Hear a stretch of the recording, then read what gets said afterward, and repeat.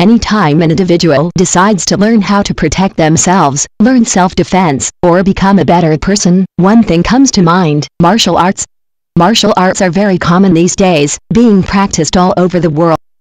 The martial arts have been used for many centuries, although they really became famous around the time of Bruce Lee.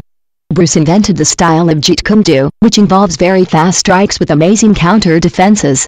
Once people began to see just how fast Bruce Lee could move, they began to look into martial arts and see just how it could benefit them. Martial arts are broken down into specific styles. The style all depends on where and what you study. A lot of cultures and countries offer martial arts that they originated, developed, and perfected. Brazil offers Brazilian Jiu-Jitsu, Japan has Karate, Thailand has Muay Thai, France is Savate, Korea has Taekwondo and China has Shaolin. Keep in mind that each style will vary in techniques and what it has to offer you. Although many people think of martial arts as being just for self-defense purposes, this isn't always the case. Martial arts are used in tournaments and competitions as well, which can include sparring, floor routines, and even block and brick breaking demonstrations.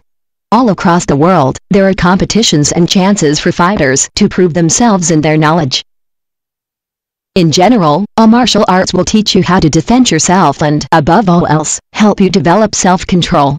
Once you begin to study a martial art, you'll quickly start to develop a much better state of mind. No matter what style of martial art you study, the instructors will drill self-control into your head. Those of you who have a bad temper or just need to learn self-control, martial arts can be very beneficial to study. Not only will you learn self-control, you'll also learn how to defend yourself in the most drastic of situations. Self-control is very important, as martial arts can be very deadly if they are taught to the wrong person, with the wrong intentions. Your instructor will discuss this more in class. Over the last decade, there have been a lot of mainstream competitions that showcase martial arts, such as Extreme Fighting, King of the Cage, and the most popular of all, the UFC, Ultimate Fighting Championship.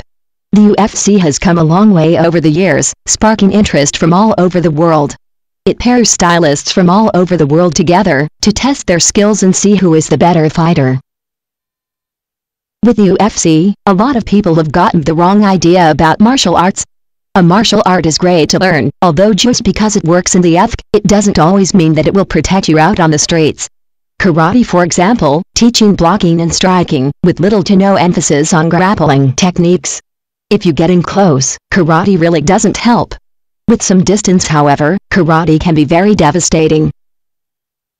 No matter how you look at it, martial arts can be great to learn if you learn it for the right reasons.